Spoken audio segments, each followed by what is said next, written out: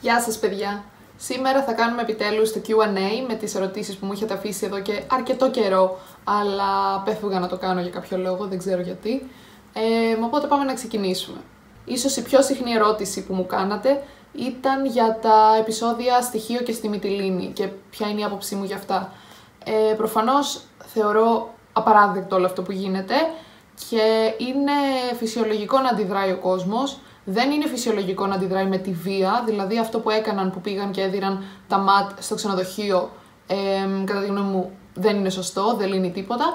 Αλλά από την άλλη είναι λογικό να αντιδρούν έτσι γιατί έχει απειβδίσει ο κόσμος, έχει απειβδίσει με το γεγονός ότι δεν δίνεται καμία σημασία στο τι θέλουν εκείνοι και με, τη, με το ζόρι πάνε να χτίσουν τα κέντρα ε, για τους πρόσφυγες στα συγκεκριμένα νησιά ε, θεωρώ ότι πρέπει προφανώς να φύγουν τα ΜΑΤ από τα νησιά και με διάλογο και σοβαρότητα να βρεθεί μία λύση που θα ικανοποιεί τους περισσότερους, αν όχι όλους. Και προφανώς το ότι τα ΜΑΤ κάνουν χρήση χημικών και τέτοια είναι ανήκουστο, δεν, δεν βγάζει νόημα καν. Επόμενη ερώτηση είναι εάν με πληρώνει η νέα δημοκρατία.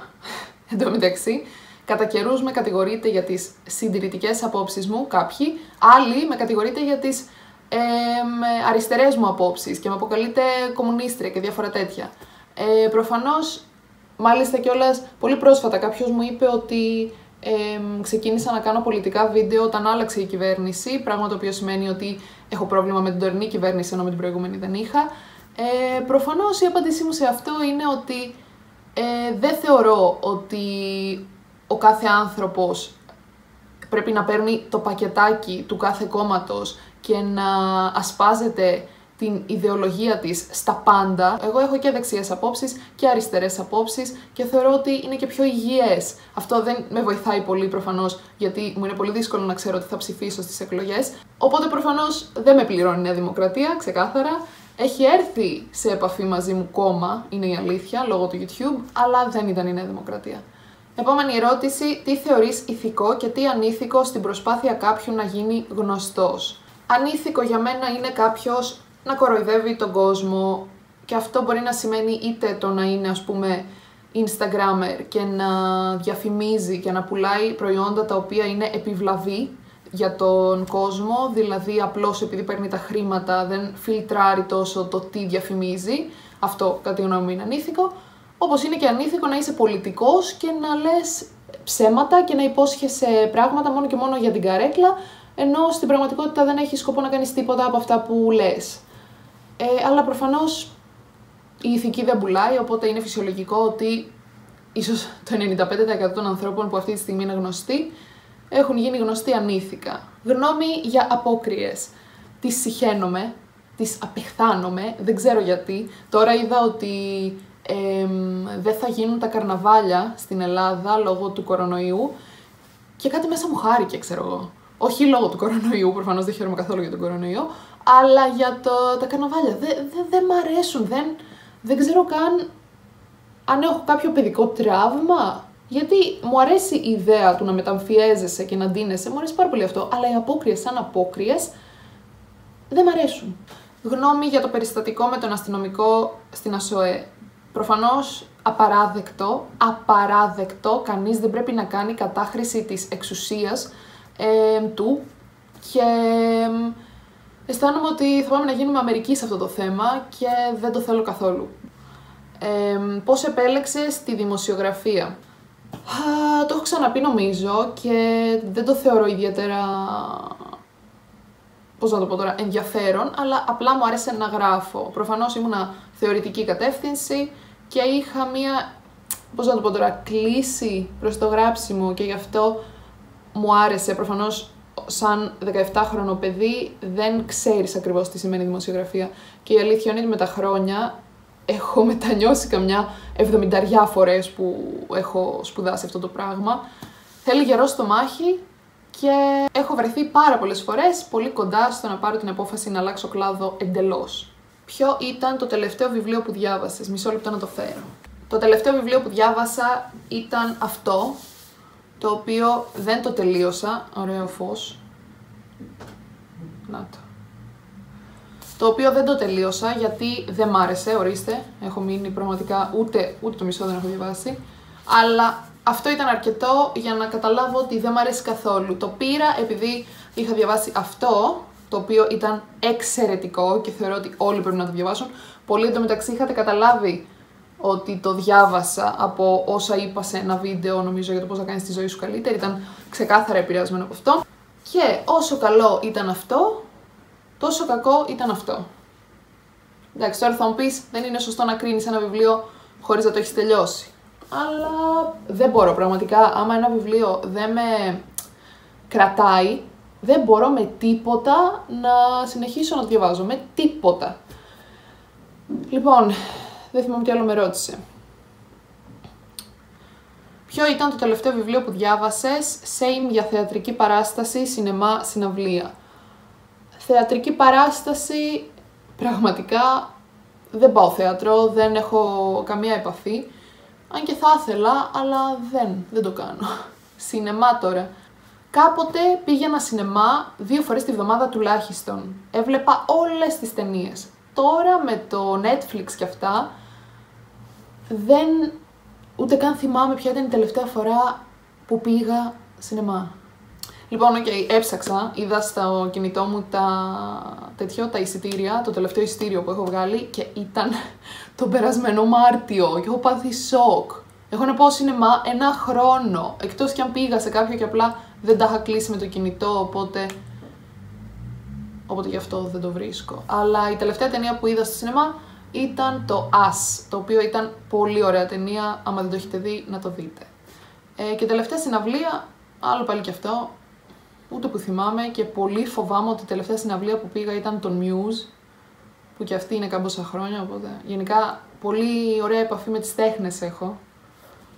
Επόμενη ερώτηση. Ποιο θεωρείς... Ποια θεωρείς... Α, όχι. Ε, τι έγινε το λικόσκυλο που είχες; Κατά καιρούς, με ρωτάτε γενικά για το λικόσκυλο. Το λικόσκυλο, η Ρόξη τέλος πάντων, είναι στο πατρικό μου στην Κρήτη. Πάντα ήταν εκεί, ποτέ δεν την είχα στην Αθήνα. Αλλά όταν πήρα το Dexter, πολλοί νομίζατε ότι ουσιαστικά αντικατέστησε το λικόσκυλο, κάτι το οποίο δεν ισχύει. Η Ρόξη είναι στο πατρικό μου, ο Dexter είναι στην Αθήνα μαζί μου. Ε, ποια θεωρείς την καλύτερη, μέρα, καλύτερη στιγμή της μέρας σου και γιατί; Μου αρέσει όταν ξυπνάω, και βγάζουμε βόλτα το σκύλο και τώρα τελευταία που έχει αρχίσει να φτιάχνει ο καιρός και έχει ήλιο και, και ζέστη αλλά όχι αυτή την κακή ζέστη του καλοκαιριού, αυτή είναι ωραία. Μου αρέσει πάρα πολύ, δηλαδή ξεκινάω τη μέρα μου πάρα πολύ θετικά.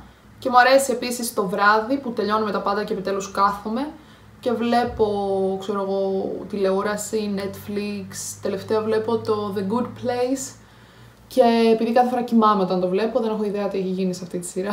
Αλλά είναι ωραία από όσο έχω δει, οπότε μπορείτε να τη δείτε.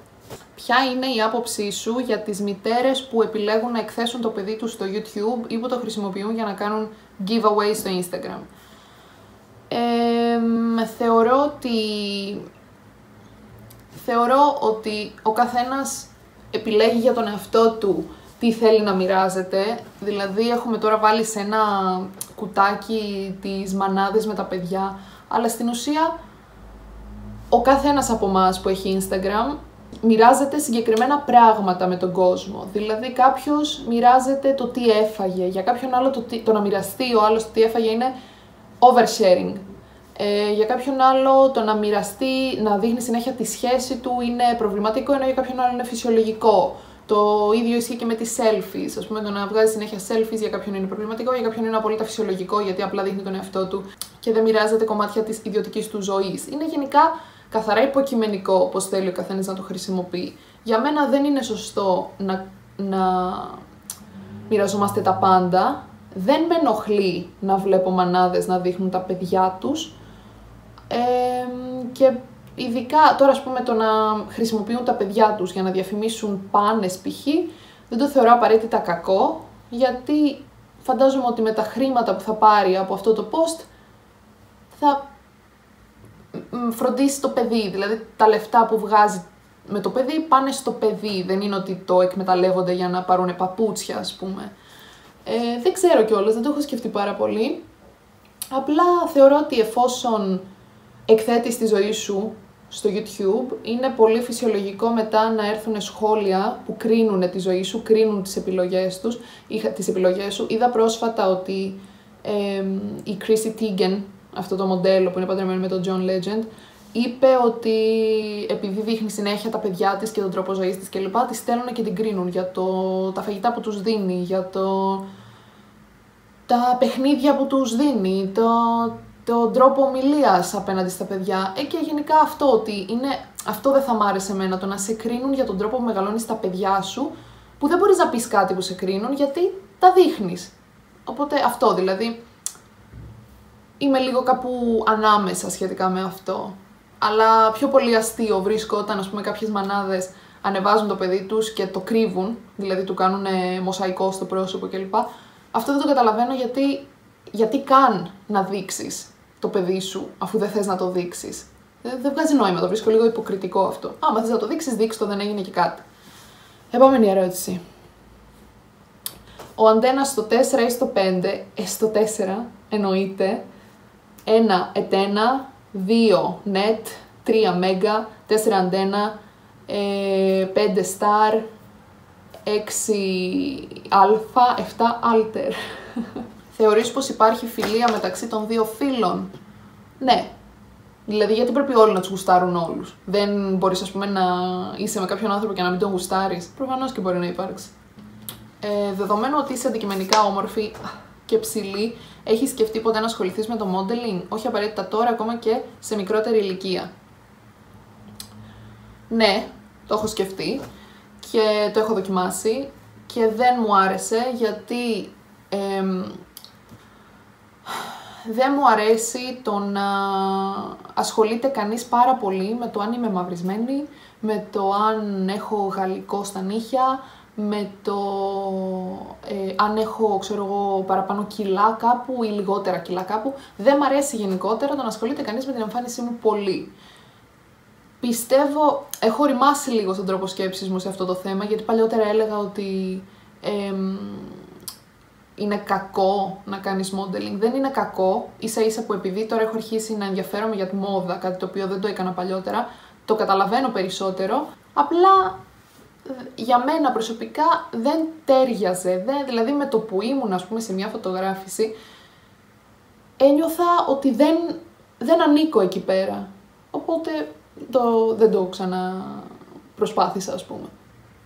Ποια είναι η γνώμη σου για το στρατό, συμφωνείς που είναι υποχρεωτικός, όχι, δεν θα έπρεπε να είναι υποχρεωτικός κατά τη γνώμη μου. Τώρα είχα αρκετές ερωτήσεις για, για γάμο και συγκατοίκηση, οπότε δεν θα βάλω κάποια συγκεκριμένη. Κατά καιρούς γενικότερα με ρωτάτε ποια είναι η άποψή μου για το γάμο. Υποστηρίζω το να παντρεύεσαι, γιατί έτσι όπως είναι ο κόσμος σήμερα, θεωρώ ότι είναι η ανώτατη μορφή σχέσης, ας πούμε. Ότι, ας πούμε ότι δεν, δεν θα έπρεπε να θεωρείται το ίδιο το να είσαι σε σχέση μία εβδομάδα και το να είσαι σε σχέση δέκα χρόνια και να αντιμετωπίζεις τον άλλο σαν να είναι ο άνθρωπός σου. Με το γάμο και καλά αυτό επικυρώνεται, να το πω έτσι. Αλλά δεν έχω κανένα κόλλημα, δηλαδή άμα ο κόσμος ήταν λίγο διαφορετικός και δεν ήταν τόσο statement το να μην παντρευτείς και δεν ήταν τόσο περίεργο ας πούμε για τα παιδιά, ε, δεν θα με να παντρευτώ. Δηλαδή δεν θεωρώ ότι αλλάζει κάτι στη σχέση πραγματικά άμα παντρευτείς. Και όσο αφορά τη συγκατοίκηση, είναι ωραίο πράγμα. Ε, απλά για να το κάνετε πρέπει να είστε πραγματικά σίγουροι, να είστε κάποιο διάστημα με τον άλλο, όσο και αν αισθάνεστε ότι είστε crazy in love, να δώσετε λίγο χρόνο γιατί στη συγκατοίκηση μαθαίνεις πραγματικά τον άλλο και ε, μην κάνετε το λάθος να συγκατοικήσετε και να θέλετε κατευθείαν να τα σπάσετε, γιατί μετά θα είναι δύσκολο, δεν θα είναι εύκολο. Επίσης, είχα πολλές ερωτήσεις για το, την άποψή μου σχετικά με το να παρατάει κάποιος τη ζωή του εδώ και να φεύγει στο εξωτερικό για, να, για ένα καλύτερο μέλλον. Γενικά, με ρωτάτε πολύ συχνά αυτή την ερώτηση. Θεωρώ ότι αυτό εξαρτάται από την περίπτωση και από το επάγγελμα. Ε, δεν πιστεύω ότι με το να πας έξω κατευθείαν φτιάχνεις τη ζωή σου και βρίσκεις δουλειά και βγάζεις λεφτά. Ξέρω ανθρώπους που πήγαν στο εξωτερικό και όντως τα κατάφεραν και άμα είχαν μείνει εδώ μπορεί να μην τα είχαν καταφέρει. Και ξέρω άλλους που πήγαν και γύρισαν ε, πάρα πολύ απογοητευμένοι. Συγγνώμη, ροχαλί. Ροχαλίζει ο Ντέξτερ.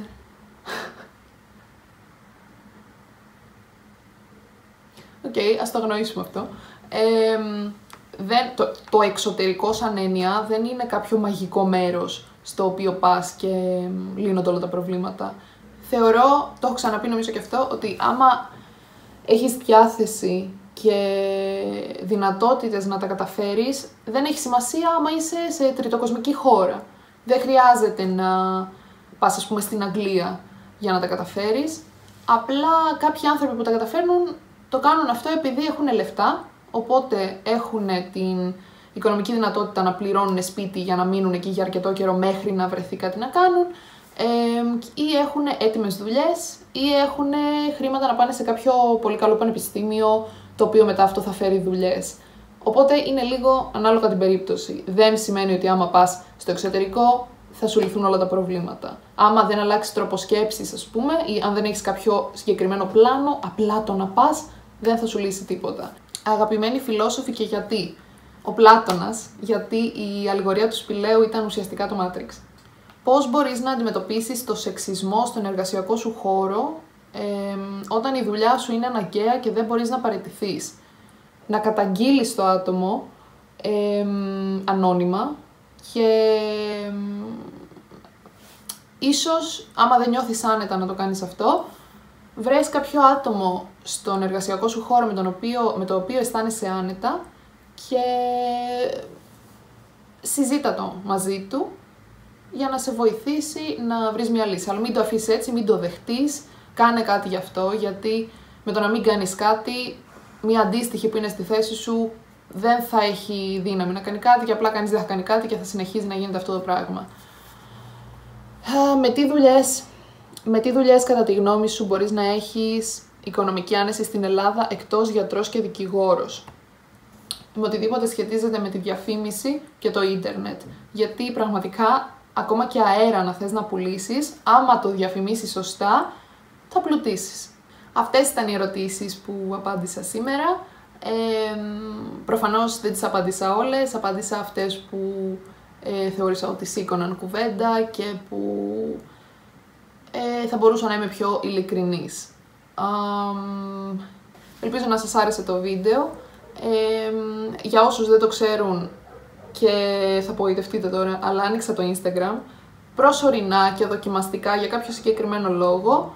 Ε, δεν σημαίνει ότι άλλαξα άποψη, ότι έχω πει το πιστεύω πάρα πολύ έντονα, αλλά δοκιμάζω να το χρησιμοποιήσω με ένα διαφορετικό τρόπο και θα ανεβάζω και εκεί σχολιασμούς επικαιρότητας ή διάφορων πραγμάτων, οπότε άμα θέλετε μπορείτε να κάνετε follow χωρίς πίεση, δεν με απασχολεί το νούμερο, το λέω καθαρά για άμα σας ενδιαφέρει σας να το βλέπετε.